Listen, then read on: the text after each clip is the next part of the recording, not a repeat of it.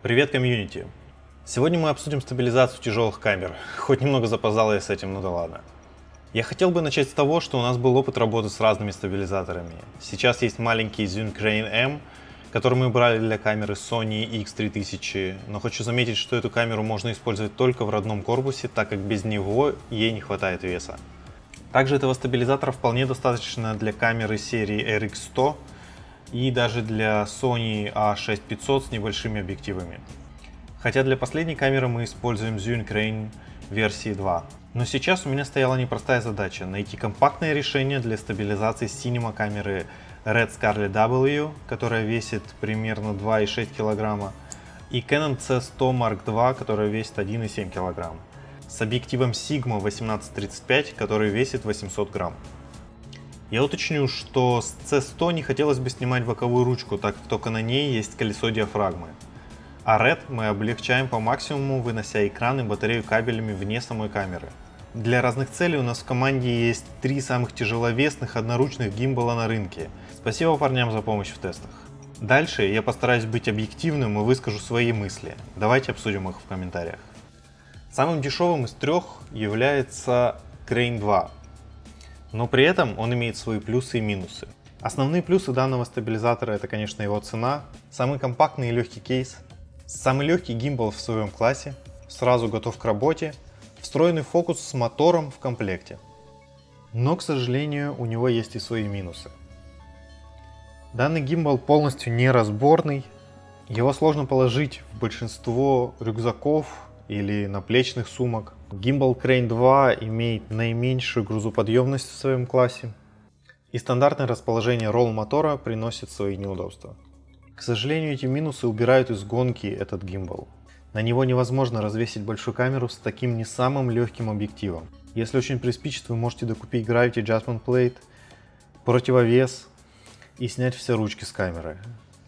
Тогда данный гимбал можно использовать с э, камерой Canon C100. Ronin S и Tilt G2X по характеристикам очень схожие системы. Но, к сожалению, и лично по моему мнению, Ronin S имеет несколько досадных минусов, которые оставляют его на втором месте. Безусловно, у Ronin S самый удобный хват двумя руками. И большим плюсом является, что в будущем появится возможность использовать родной follow focus с обещанным мотором. К основным минусам DJI Ronin S я могу отнести большой спрос на сегодняшний день его можно купить только под заказ.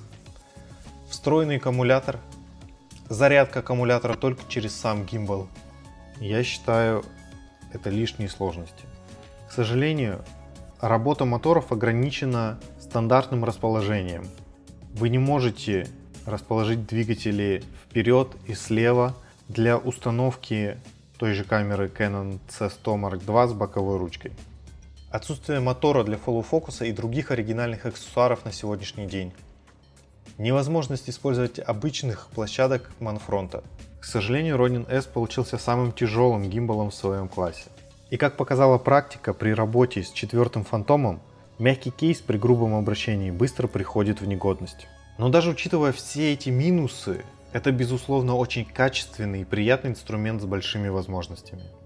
В итоге мы смогли установить на него Canon C100 Mark II с Sigma 1835, без боковой и верхних ручек. Но камеру RED можно использовать только с более легкими и короткими линзами. И в случае с RED возможность дополнительно установить мотор для follow фокуса я ставлю под сомнение. Давайте взглянем на Tilta G2X. Ее основными плюсами я вижу компактность в разобранном состоянии, вы без проблем сможете разместить разобранный стабилизатор в любом рюкзаке, на плечной сумке, либо в жестком кейсе вместе со своей камерой. На своем сайте Tilta представляет много оригинальных аксессуаров, но также универсальные крепления розетты позволяют выбрать аксессуары других сторонних производителей. На сегодняшний день Tilta G2X показывает максимальную грузоподъемность в своем классе.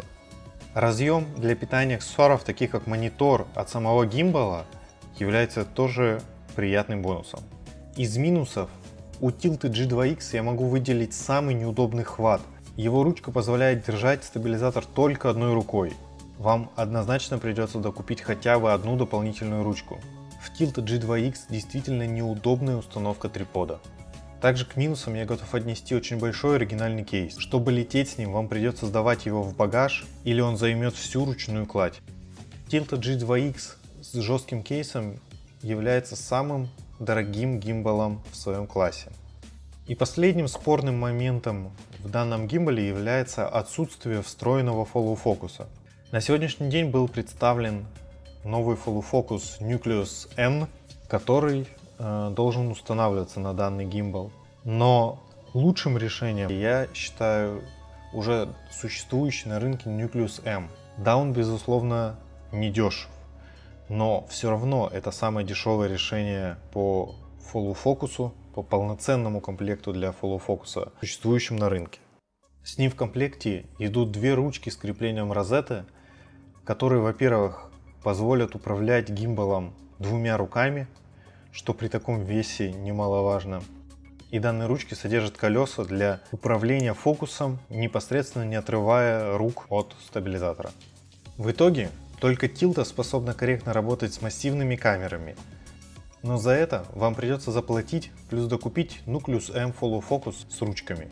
В данном случае анонсированная N-версия мной даже не рассматривается, так как держать 5,5 кг одной рукой длительное время совершенно бредовая идея.